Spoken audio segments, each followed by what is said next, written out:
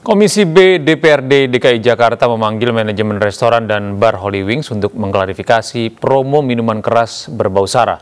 Manajemen Holy Wings mengaku kecolongan.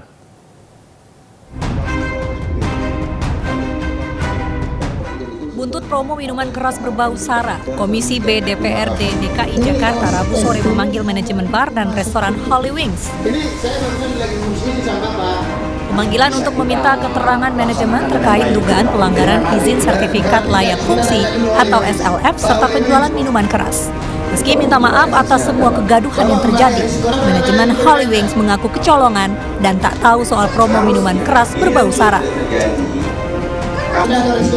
General Manager Project Company Holy Wings Indonesia, Yuli Setiawan mengaku tidak pernah diinfokan penggunaan dua nama tokoh agama pada promo.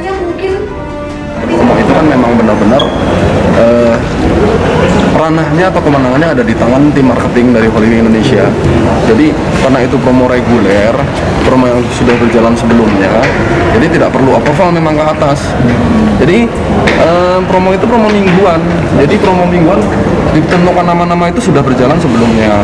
Jadi tapi kalau untuk yang periode minggu yang kemarin itu kita memang tidak tidak menyangka gitu loh dari tim kreatif dan marketing itu akan mengeluarkan nama itu karena memang mentoknya kebijakannya hanya di tangan direktur dari marketing dan promosi dan sosial media seperti itu. Selain manajemen Holy Wings, Komisi BDPRD DKI akan memanggil wali kota, kepala dinas Citata, dan kepala dinas lingkungan hidup terkait AMDAL.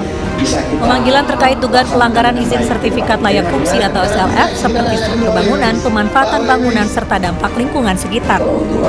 Kalau izin menjual minumannya itu ada tujuh, tetapi tidak boleh minum di tempat ya.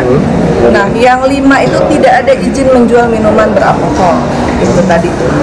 Tadi yang izin konstruksi kayak gitu yang tadi disebut itu apa gitu izinnya? Tadi disampaikan oleh Pak Kepala Dinas tidak ada. Satpol PP DKI Jakarta telah menyegel 12 outlet Holy Wings di sejumlah wilayah di ibu kota terkait pencabutan izin usaha. Selain tak berizin, penutupan merupakan tindak lanjut penyelidikan Pemprov DKI terkait kasus promosi minuman keras berbau sara. Dari Jakarta, Rani Sanjaya, iNews melaporkan.